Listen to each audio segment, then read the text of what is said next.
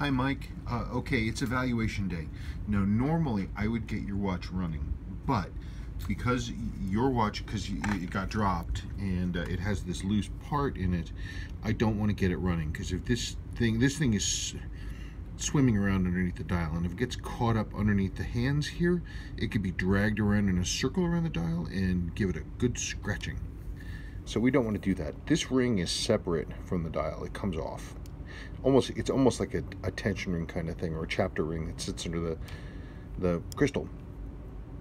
So I'm going to have to get this off. I'm going to have to basically disassemble this and then use a, a really hard two-part epoxy to hold that back in place because it looks like the pins are sheared.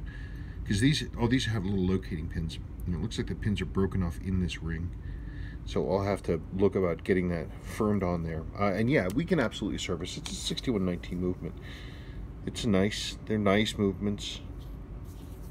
December 1969.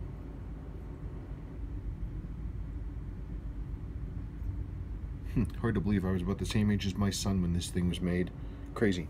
Okay, so normally I would get it running. I'm, I'm assuming based on the rest of the cosmetics, the watch will be pretty straightforward because it looks pretty clean. Um, I, I, wish I could uh, tell you more. I mean, I guess I could open up the back. I just, I'm always a little leery. I just don't want to get it running.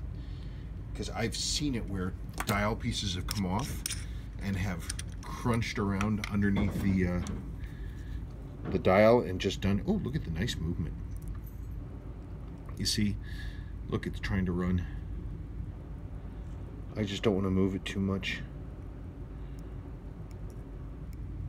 No, it looks nice. A little bit of brassing around here. Your lower mainspring rubber where it's a little worn. These are always fun to work on. Love this orange text. Has a holdover from Seiko's earlier models. The 6619s have that. So, and the 6619s also had the two-tone day and date wheel. When they sort of perpetuated, Seiko perpetuated that when they moved from the, the old movements to the new Suwa and Daini lines. And they, they kept that running. Anyway, there it is. Uh, I will probably take this thing apart and get that dial piece out of there. Okay, you let me know. Thank you.